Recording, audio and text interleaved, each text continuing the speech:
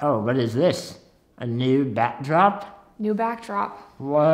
Whoa. Cool. We got half a clock.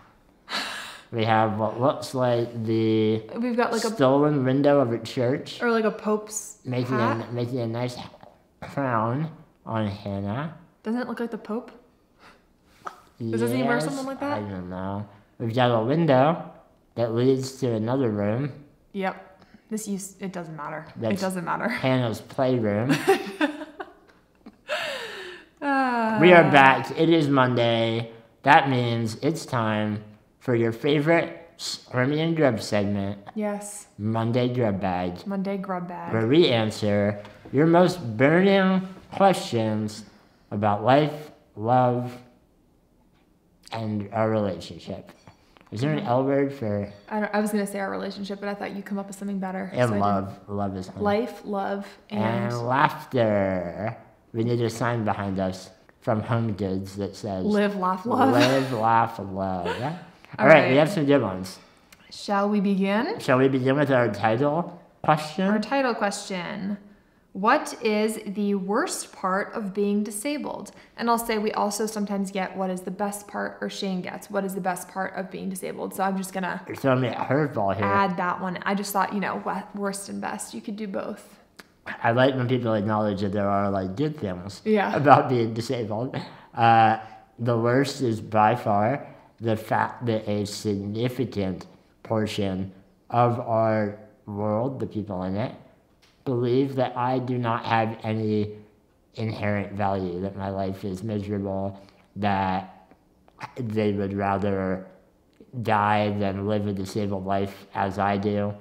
Um, ableism, generally, uh, the belief that my life has less value than a non disabled life.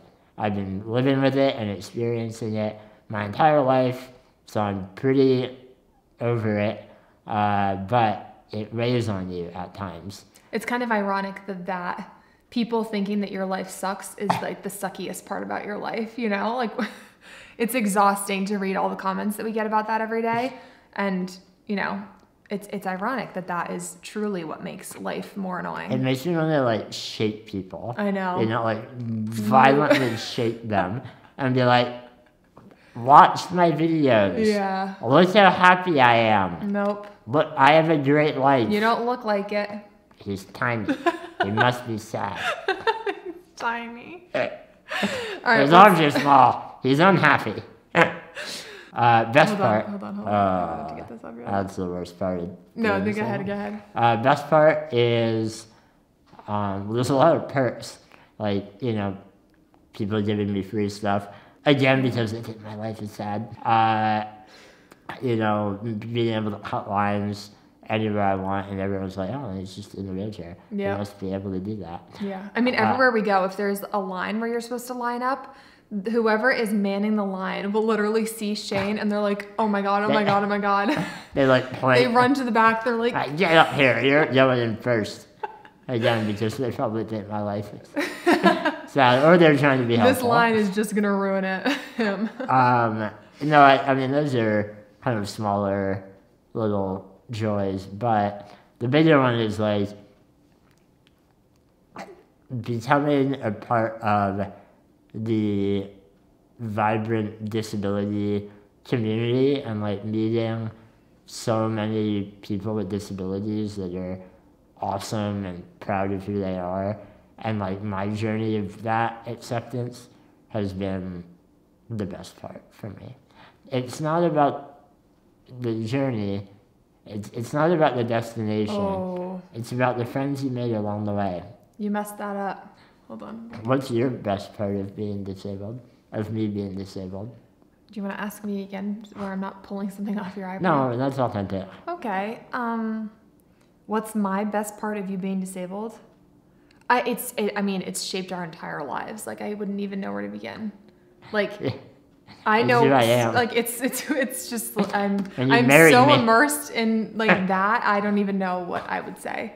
You know? Yeah. It's like what's the best part about meeting me? It's like I you know, it's The it's fact that- it's like the fact that you can walk okay. and I looked up to you for that Okay. Literally and figuratively. I look up to you. Okay. This is the questions this round. I know Shane had said like make it fun or whatever. People really did a great job. By the way, we get the questions from the comment section on these videos. Yes. So next week's video will come from questions in this comment section. So comment below Yep. if you want to know something. Um, what message uh, would each of you have for the class of 2022 if you were asked to give a commencement speech at your respective alma maters? Wow. I'm ready. Oh. To the class of 2022, thank you for having me here today Oh, no. to bestow four, not three, four honorary doctorate degrees upon my chest. I'm humbled. I'm honored. I know that my accomplishments are something that you will all strive to achieve in your lifetime. Am I supposed to stop this? And I am here to tell you that it won't be easy. Many of you will fail. You will give up. Life will get too hard. Your dreams will wither and fall at your feet. But not mine. That is why I am up here today. Thank you. Is that? I'm available to be hired if you. Uh, That was so horrible. That was what horrible. would yours be? You made it worse than I could ever even have imagined. I mean, I think the students would be like, "This is amazing! Someone film this." Yeah, they're fr- he's a freak. Um, I don't know what mine would be. I'm not good at that. I'm, I I think that one of the things I am worst at is grand statements. Doesn't You need to know? be grand. No, but like vague statements that are like, you know, you're out here on your own now, and you're gonna have to find your own way. Like that That's a good is the least. you are alone. That does not. that does not come naturally to me. I don't know. I think I would, in vague terms, you know, tell people, the students graduating, that no one really ever has it figured out. Don't worry if you don't have it figured out. That was beautiful. Thank you. That was smart. But I think giving a commencement speech is my worst nightmare. It's so true, though. I, I mean, your your faith speech is valid. Like we all grow up with this idea that people Yeah. older than us have like figured it out. Eventually, you'll get Yeah, yeah, there. you don't ever. Like, you know. Yeah. Nope. I'm almost thirty, Yeah. and I Oh, don't. Jesus. And I don't have it figured out. Any chance to bring up your birthday? Okay. What's the alarm sound y'all have to wake up in the morning? Oh, the dreaded. I actually don't know. I'm checking. Um, it's uplift. How do I play that? We have to. You just set an alarm for, or Here, uplift. yeah, here we go. It gives me a pit in my stomach. Well, see, this one doesn't right now. I change the sound as soon as I start getting a pit. I used to use the one that was like, it's like this like high pitched thing that goes like. "Dun-dun-dun-dun." I once heard someone in a grocery store, their phone went off, and I wanted to throw up. I had used it for so long. I was like, oh, that was so painful. Okay, if a toy company made an action figure of Shane and one of Hannah, what two accessories would come with each of you? Great question.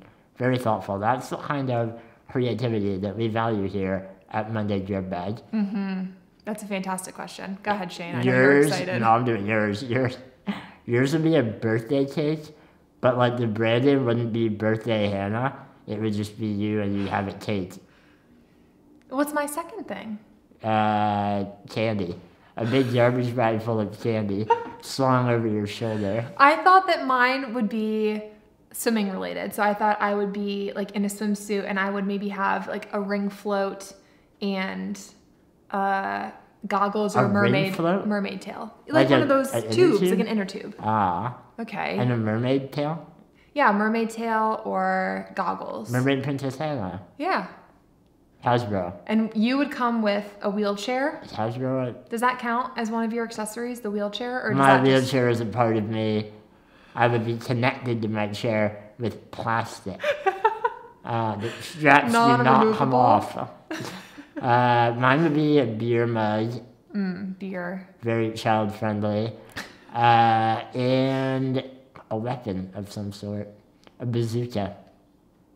I think that you would come with an assortment of sauces, a little, a flight of sauces, and maybe something to dip. Kids would be like, "What the hell is this toy?" Both of ours are not, they're not normal. Um, how do you feel like your relationship has grown over time? Oh, that, we're going from like silly to serious. I didn't, I didn't remember this being on the list. I think Yeah, you I added this secretly at the no, last I told minute. you about this one. Um, I have one. oh, go ahead. I think earlier in our relationship, I would, I, I was more nervous about pleasing Hannah 24 7. Same. Uh, and now I'm much more comfortable disappointing her. You know what? I was gonna say something similar that I am more comfortable. I'm like I can be ruder to you. Like it's honest. I, I was almost not gonna say it because it's like a bad thing, but No, you yeah. said it. No, And it's yeah, true. we're we used to be so like perfect all the time with each other. And I think you do that because you're like a little, like, a small part of you is worried about the long term. Yeah. Like, you, you want to stay in the relationship. Yeah, you're like if I show them this part of me, they're gonna leave. If I'm like Yeah. if I react in this And now way. we've both resigned ourselves to the fact Forever. that there's no way out. So might as well just be a slob. Yeah. Uh, no, I mean obviously we still try to be our best versions yeah of ourselves, but yeah, like, and I don't like, you know, when you're not home for the day, let's say, is something blinking? yeah our memory card's Oh. out of space. Uh, Be right back. is it like still recording? I think so. Oh. Not for long. Did you hit record? Yeah, we're back. That is entirely Hannah's fault. She's been taking nature photography lately and Filled up filled memory up our memory card. My bad. Anyway, I was saying like when you're out and about, like you know, let's say For the day? Yeah, for the day. Like back in the day, I would have texted like every hour, like "How you doing? Yeah. You okay? Like I don't know, you safe?" Yeah. Now I'm like, just go ahead. I don't. Tell me when you're home. and that sounds bad, Yeah. but I'm more just like comfortable in Yeah. our life. So Yeah, we were so. I mean, the texting it was compulsive. to the point where like our families got mad at us. Yeah, we Yeah. had like other relationship issues. It was it was so intense, and like, I we knew it, and we couldn't stop. It was obsessive. I was like, I know, I know that we're out to dinner, but I have to text. yeah, I have to. It was horrible. And they're like, you just did five minutes. Yeah, but she responded. yeah, So I have to respond. it was. So yeah, we've relaxed a little bit. I would say yeah, that's the big thing. We've relaxed. we've relaxed. We've relaxed in all areas of life together. Yeah. okay. Uh, this is the last one. This is a good one. Navigating a multi generation household can be tricky and wonderful. How did you decide to do this, and what advice can you give for others? We'll focus more on the advice because we made a video about like why we did it. Yeah. Real briefly, the headline is that it was mutually beneficial and desirable Yeah. for us and for our parents. Yep. So we did it. Yeah. There for are- a variety of reasons. They're our best friends. We love them to death. yeah. Uh, and it just works well for our family. Yep.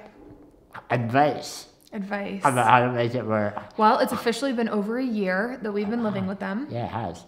I think our biggest problem area, which is where we can get our advice from, is around food and meals, Yeah. which shouldn't surprise you. I know. We yeah, we have now we have ah. separate areas for our foods to be kept, different sides of the fridge. Because there were too many times when one of us go to get an item that Yeah. we knew was in the fridge, that we desired. and then someone else had eaten it. yep. And So our- now we literally will like if Shane and I are done with like leftovers from this restaurant, we will put them on the other side of the fridge and then my dad knows that he can eat it. There's a designated George area of food that he's allowed to have. Yes, and he just goes there and takes from it. So it works well. But go ahead. Oh, I was going to say I think it's the most surprising thing in the past year is how little we actually eat together. Yeah. Like when we moved in, we thought that we would be having dinner together every night, Uh-huh. like how we had when I grew up. And we thought we'd have to like carve out Yes. relationship like dinner time. We were worried about that, that We we, were- wouldn't have alone meal time. We were like, should we tell them that we want to eat alone like Yeah. a night a week or Yep. something?